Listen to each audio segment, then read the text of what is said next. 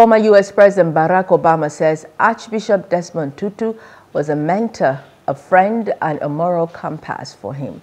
Tutu, a veteran of the struggle against white minority rule, died on Sunday aged 90.